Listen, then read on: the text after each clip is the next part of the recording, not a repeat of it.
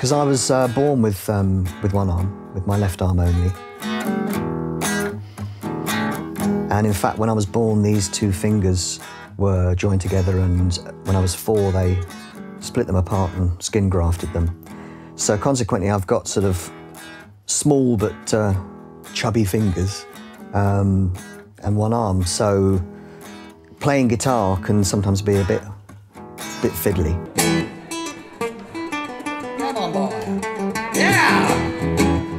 Obviously, I'm a guitarist, but um, first and foremost, I'm a songwriter. And one of the first songs I ever wrote was, uh, was when I was about seven years old. And uh, I was at the piano. I couldn't play guitar at that point. And I just used two fingers on the piano going up and down the scales. And it was a, a song in my head, which was a bit like um, David Bowie's Space Oddity about a, a spaceman that goes up into space. Something goes wrong with the rocket, and then it drifts off into space, and then he's lost forever. And it was literally just playing up and down the piano on the scales that gave me this, this, this song in my head. And for me, it was, a, it was like a door that opened because it, it enabled me to sort of paint pictures with music. It told a story in my head. What it takes, yes, you've got what it takes to breathe. To breathe. You got what it takes, yes, you've got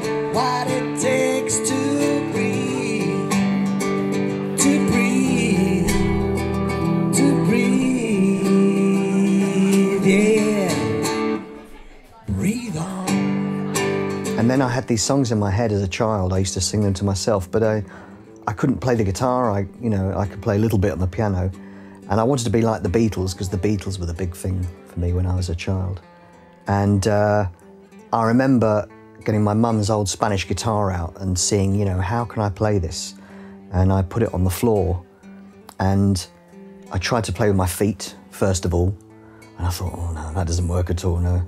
And then a combination of my hand and my foot and holding the strings down and playing there, and, and it just did looked all wrong. And I thought, you know, I was so into the Beatles, I thought, you know, this doesn't look anything like the Beatles. I'm not going to do it. I'm not going to do it. Um, so I kind of gave up in a way, but I still had these songs going around in my head, and even at the age of 10 and 11 and 12, I was writing these pop songs. I could hear all the instruments, I could hear the, the vocals and everything, but I had no means of recording it or playing it, performing it. And it wasn't until I was about um, 14 that I started playing my mother's Spanish guitar, and I've found a way of playing with my thumb, playing on the string, and then holding my finger down to, to hold the, the notes down and playing up and down like that. And I played a kind of bass lines, really. And, and that was a breakthrough for me. That was like, oh, wow, I can do that, great. But then I soon got bored with that. And then eventually I found a way of playing chords, sort of cheating on chords in a way, just using two fingers to hold down the strings and playing across. Um, and that was, that was great because then I could start, you know, playing guitar and I found a way of recording at home um, through a pair of headphones because I didn't, couldn't afford a microphone on pocket money. And uh, I'd record my own um, guitar playing and my own songs onto cassette. And it was great from a songwriting point of view. Suddenly I had my songs on, uh, on cassette that I could share with the world. Come on, but baby, do you wanna go to that place that I sweet Chicago? So I'd say I'm a, a songwriter first, a guitarist second, and the vocalist third, really. Songwriting is a big thing for me. That's my reason for doing all this.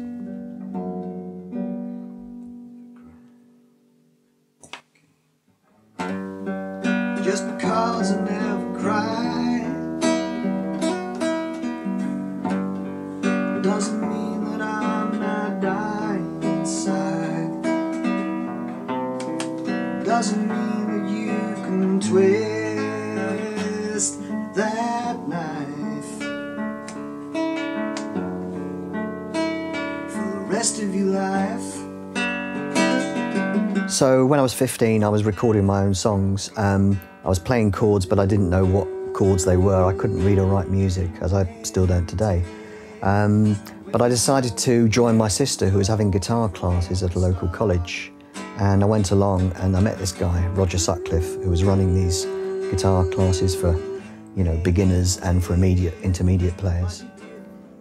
And uh, it was great because um, I walked in there and he took one look at me and said, How the bloody hell am I going to show you anything?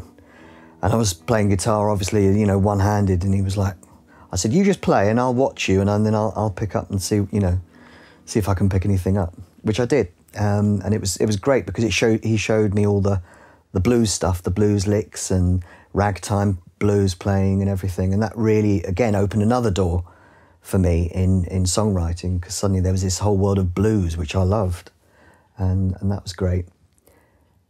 And then um, when I was about in my early 20s, um, I moved down to London, and um, I, after about a year of sort of, you know, being in and out of love and the pains of love, I decided, you know, enough of love, let's concentrate, let's get back to the music. Uh, with love.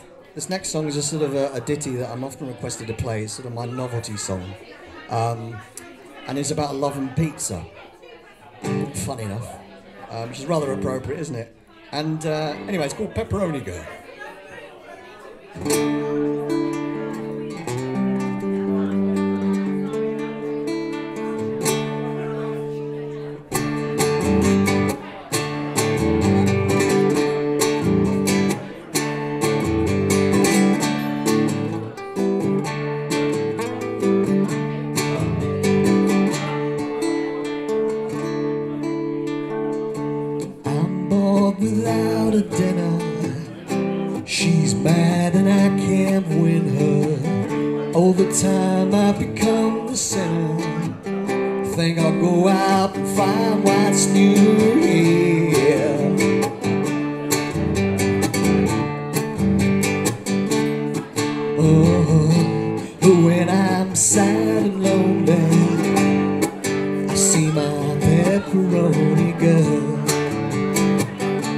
Pepperoni girl.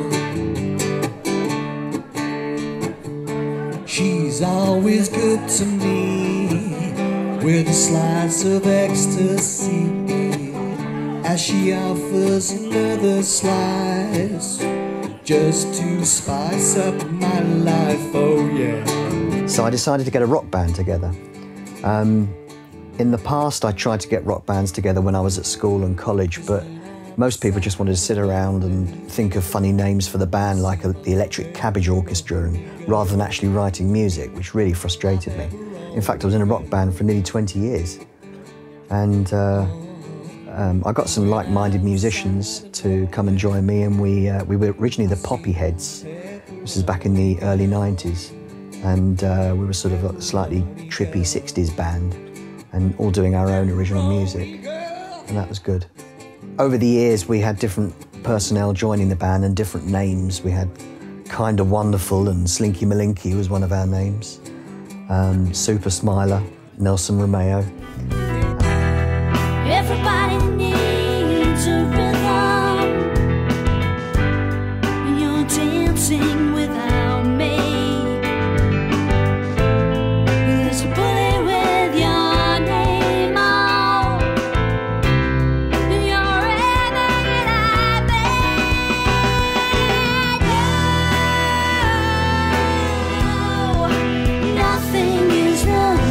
Whilst we were auditioning for a drummer, um, we had a female drummer, Jackie, and she became sort of my songwriting partner in a way.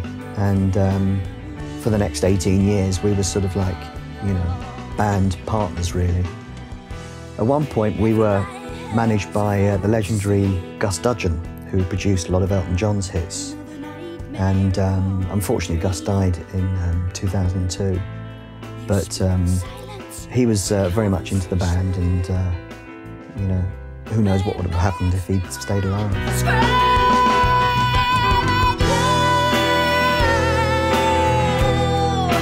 Nothing is nothing.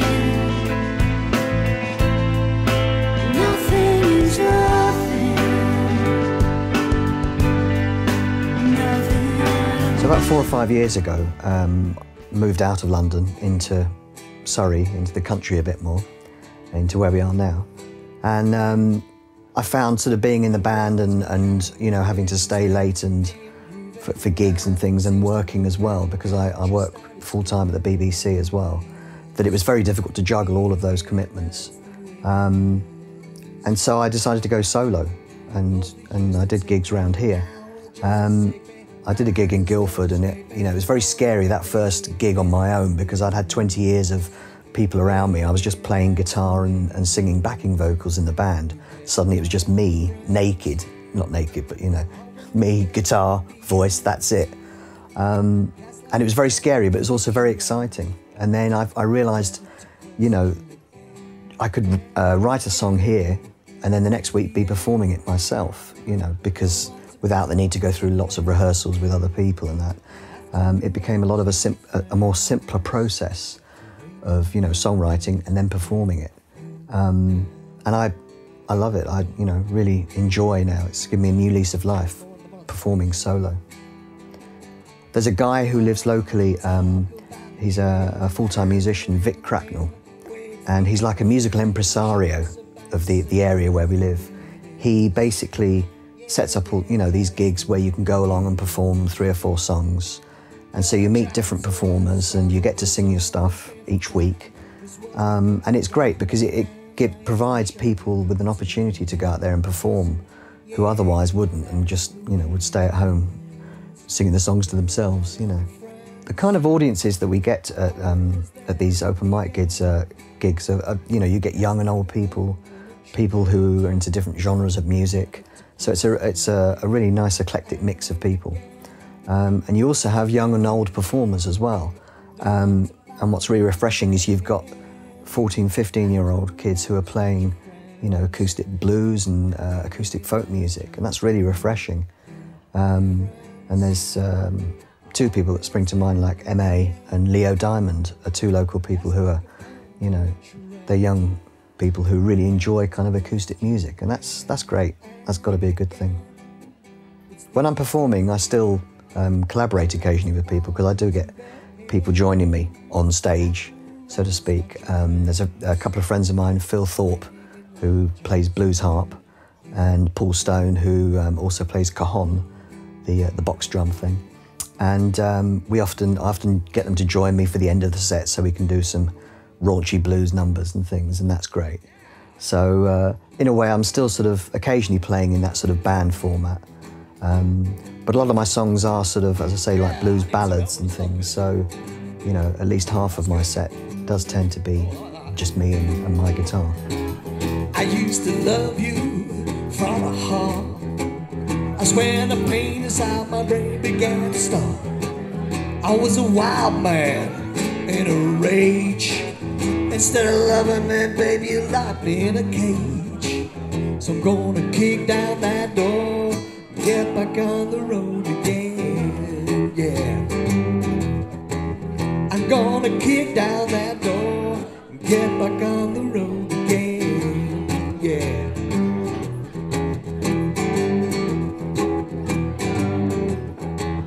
I was a fighter, you know it's true. But baby, you made me do things I didn't wanna do. You just abuse me, it never ends. Parade me around like some trophy to your friends. I'm gonna kick down that door, get back on the road again. Yeah. I'm gonna kick down that door, get back on the road again. Yeah, kick it. As well as playing in, um, in London occasionally and around this area in southern England, um, I've also played gigs in uh, Romania. Um, I was invited to play uh, a few blues clubs in Bucharest, which was great.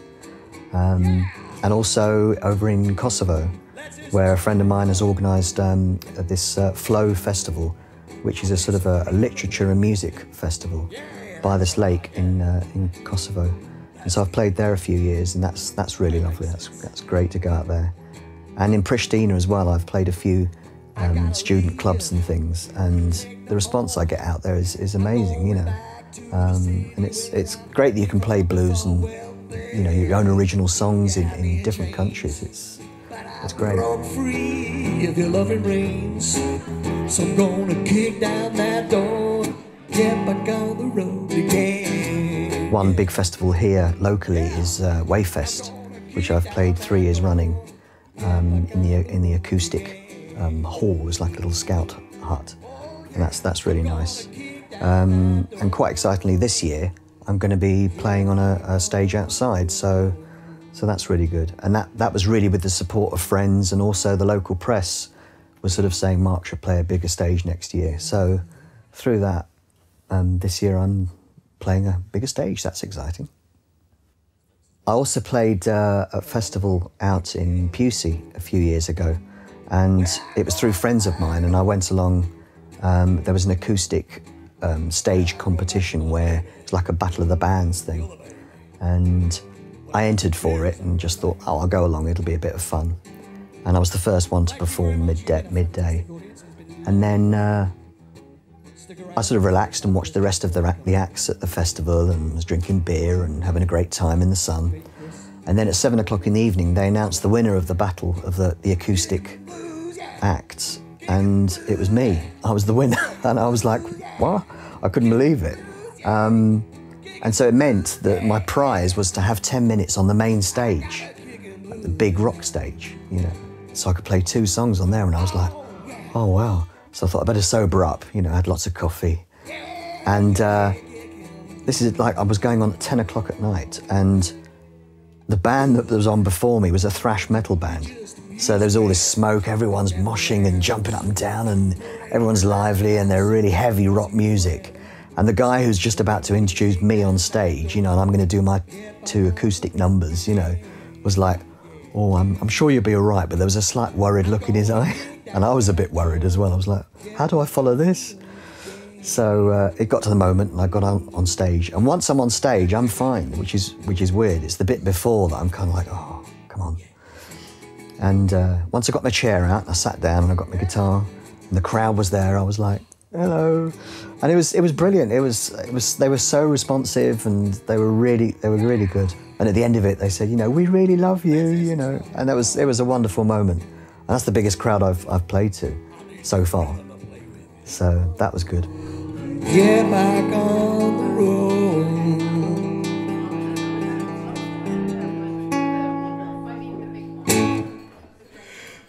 Uh, hang on. Where was I going?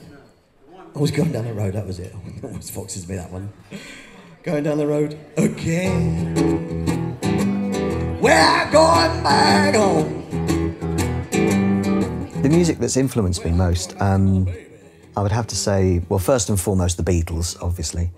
Um, in fact, I was at a Beatles concert, believe it or not. Um, I was just an embryo at the time, but I was physically there at a Beatles concert, so I'm very chuffed about that. When I was a, a child, I used to, you know, walk around with a tennis racket singing Hey Jude, and I just loved the Beatles. Um, they were such a massive influence on me. But also in later years, blues, um, you know, the, the Delta blues, um, Chicago blues as well. Um, people like Robert Johnson um, and Reverend Gary Davis, all of those old bluesmen, um, love their stuff. 60s R&B, I love bands like The Who, The Kinks, Small Faces, um, very influential on my, my, my rock songwriting. As well as obviously rock bands like Led Zeppelin and Cream and Free, um, people like that, Radiohead. Um, but I also like the, the balladeers like Nick Drake and Ralph McTell. Um, and I've always loved that sort of acoustic side. Um, love poetry in a way, really. And as someone who I've discovered recently, who I think is a, a fabulous songwriter and singer, is Jon Allen. Um, and he's amazing. He's just got his songs are so catchy and, and poppy and soul-y, and he's got this kind of voice like Rod Stewart. You know, um, it's great. I've listened to his two albums, and I'm a big fan of his. I think songwriting is very important. Um, music's very important. It's it sort of speaks from the soul. It speaks from the heart, and it cuts across languages. And it's such a great means of communicating emotions and feeling. And you know, I think in this day and age, in any day, well, I think in any day and age, it's, it's very important. Um, music plays an important part in lifting people's emotions, you know, or even enhancing them. Um, if you're feeling down, you know, you put on a blues track and it just makes you feel even worse. or you put on something and it just lifts you out of your mood. Or, you know, it's it's a very powerful tool, and there's nothing there's nothing finer than you know I can be sat here on a Saturday afternoon writing a song that just pops into my head. Um, and then the next week, I'm, I'm playing it live in front of people, and people are responding and going, "Oh wow, that's a great song." There's no, there's no feeling on earth like that. It's just wonderful um, to be able to share that kind of what you're think, thinking and what you're feeling. It's brilliant. My family and, and friends have always supported me, um, which is great. Um, and also my wife Anna. I mean, she supports me all the time. Um, and she helped me through making that difficult decision of leaving the band after so long and going solo, um, which was a very difficult decision. And um, but she always supports me, and you know, I'm always locked away, either writing songs or recording songs, or you know, far away thinking about lyrics. So she uh, she's very patient and very understanding. So that's that's really nice. That's good.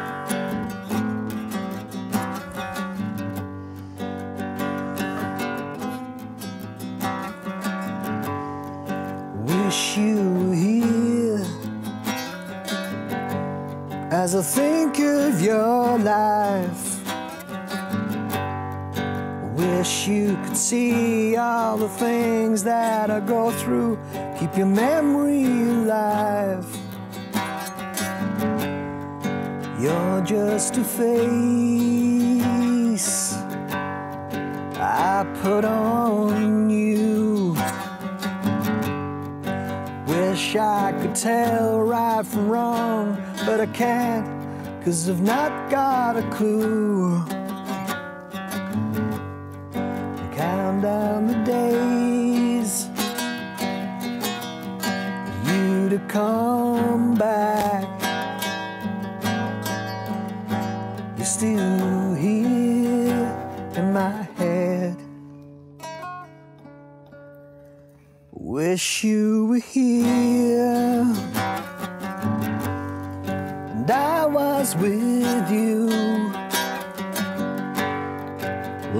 for the times that we spent all alone, I'm counting on you.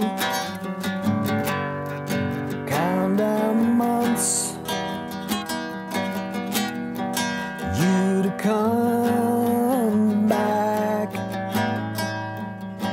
You're still here in my song.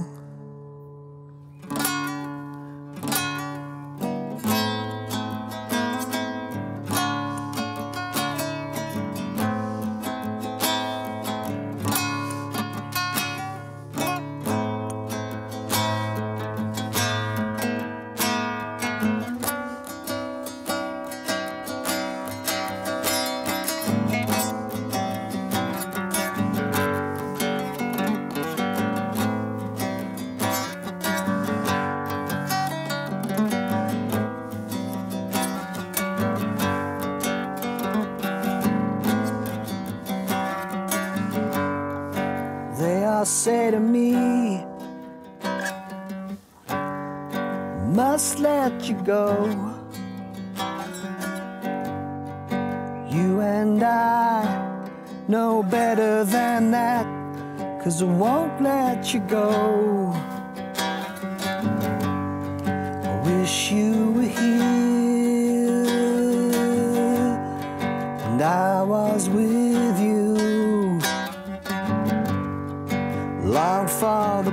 passion love in your eyes to help see me through. I count down the years, you to come back. You're still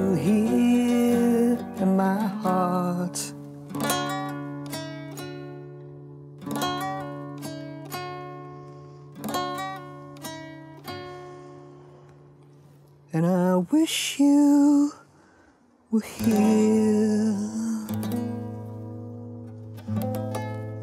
I think music is, is so important, and if anyone out there has, you know, uh, a penchant or a, a, a desire to play music, I'd say yes, go ahead, do it. It's never too late to do something like that. And, you know, to be able to pick up an instrument and, and play and just express those emotions is so important. You don't have to be a virtuoso. You don't have to be, you know, like a thousand notes a second, that sort of thing. Um, whilst that's technically brilliant and impressive, for me, what I, what I love to hear and see is someone who plays with feeling, especially with blues um, or even ballads. You know, to, to play with feeling is, is so important. So you know, go out there and, and do your thing. I think it's really, really important. Keep the faith. And I wish you were here.